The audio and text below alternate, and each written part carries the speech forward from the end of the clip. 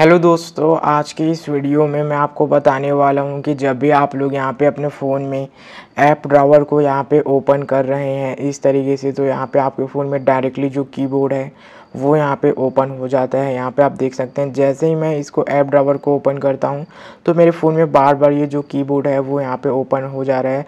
तो इसको मेरे को बार बार इस तरीके से जो है हटाना पड़ता है।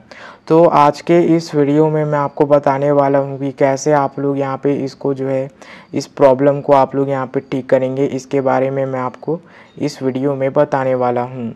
तो चलिए वीडियो को स्टार्ट करते हैं, मैं आपको बताता हूँ।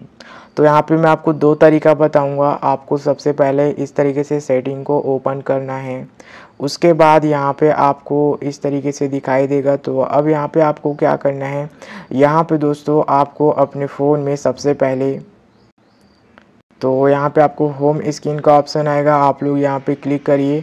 उसके बाद यहाँ पे आपको जो है इस तरीके से दिखाई देगा। तो अब यहाँ पे आपको होम स्क्रीन वाले ऑप्शन पे क्लिक करना है।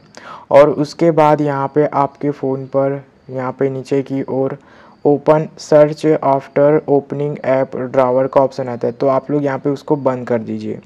जैसे ही आप लोग यहाँ पे उसको बंद करेंगे तो आपके फ़ोन पर ये प्रॉब्लम यहाँ पे सॉल्व हो जाएगी ओके तो आप लोग यहाँ पे इसको बंद कर दीजिएगा, आपके फ़ोन में ऑन रहेगा। तो यहाँ पे ये प्रॉब्लम आता है। तो आप लोग उसको सिंपली से बंद कर देना है। तो अब यहाँ पे मैं आपको दिखाता हूँ, यहाँ पे मेरे फ़ोन पर अब आप देख सकते हैं, बिल्कुल भी जो कीबोर्ड यहाँ पे आ रहा था, वो यहाँ पे शो नहीं कर रहा है। और जो सेकंड तरीका है, वो है, ये है कि आपको यहाँ पे जो है, यहीं पे ही आपको देख सकते हैं थ्री लाइन का। तो आप लोग यहाँ पे क्लिक करिए और यहाँ पे आप लोगों को डायरेक्टली ये ऑप्शन आ जाएगा। तो आप लोग यहाँ पे उसको बंद कर दीजिए।